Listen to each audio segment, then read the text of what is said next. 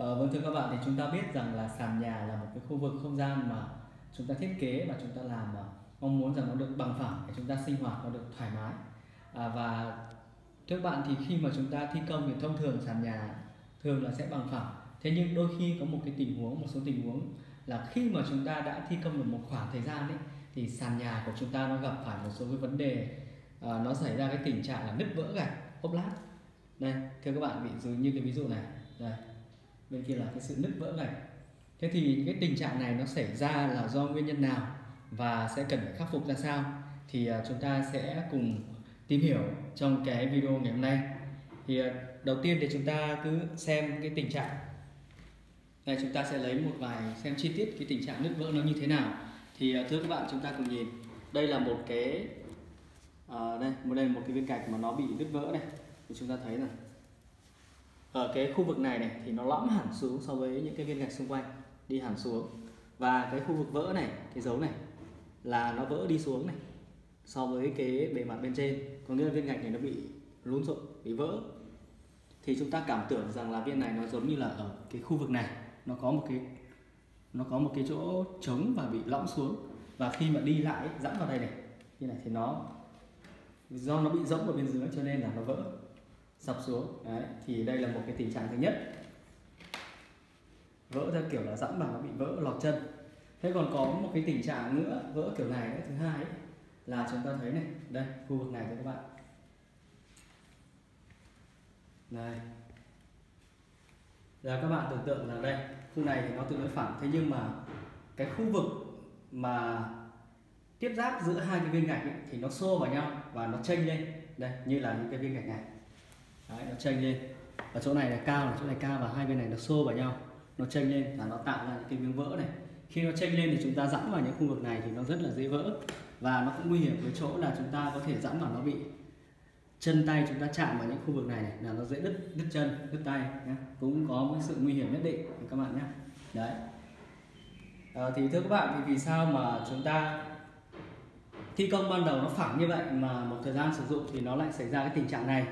Thế thì có những cái nguyên nhân mà nó dẫn đến cái việc là gạch lát sàn nó bị nứt vỡ. Như sau. Thì thưa các bạn cái nguyên nhân đầu tiên ấy là do cái chúng ta trong quá trình chúng ta thi công ấy, cái công trình của chúng ta nó bị lún không đều. Thì chúng ta tưởng tượng rằng là nó giống như là cái cái sàn nó phẳng này này. Thế do cái phần móng ở bên dưới ấy, nó lún không đều. Thế thì nó đang phẳng này và nó nó giống như chúng ta bị bẻ ấy. Đấy, nó bẻ ra. Nó đang phẳng nó bị bẻ ra. Thế thì cái công trình cái phần sàn nó bị gãy ra thì nó làm vỡ cái khu vực là gạch ở bên trên. Thì đấy là một cái nguyên nhân có thể làm cho là gạch ở bên trên bề mặt nó bị nứt vỡ. Thế còn cái nguyên nhân thứ hai là do, thưa các bạn, là nguyên nhân thứ hai là do chúng ta làm cái mạch vữa này. Chúng ta thiết kế những cái mạch vữa nó quá nhỏ. Đây, cái mạch vữa nó quá nhỏ.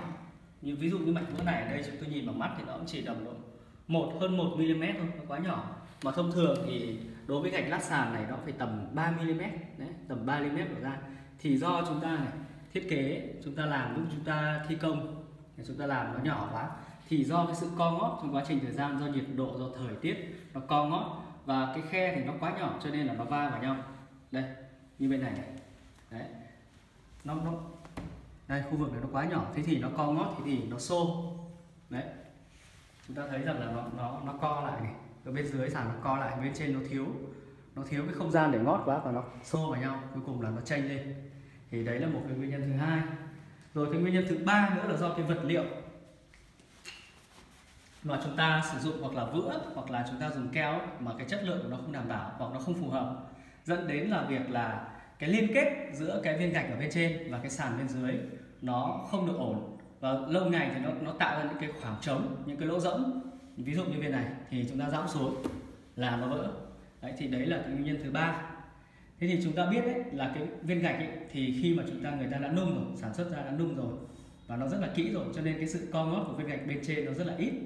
Thế thì cái sự co ngót mạnh ấy, đa phần nó thuộc về cái nền hoặc là cái keo hoặc là cái vữa mà chúng ta gắn thôi.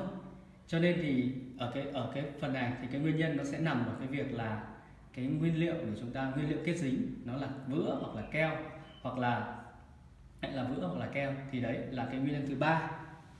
Thì à, thưa các bạn, thì đó chính là ba cái nguyên nhân mà phổ biến nhất dẫn đến việc là khi mà chúng ta thi công một thời gian ấy, thì cái sàn của chúng ta đang phẳng nó bỗng dưng là nó bị nứt vỡ. Đấy.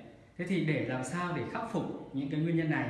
Thì đối với cái nguyên nhân đầu tiên là do cái sự lún nó không đều, nó dẫn đến là cái sàn nó bị bẻ cong, nó vỡ ra, thì ngay ở cái khâu thiết kế thì chúng ta phòng hơn là tránh.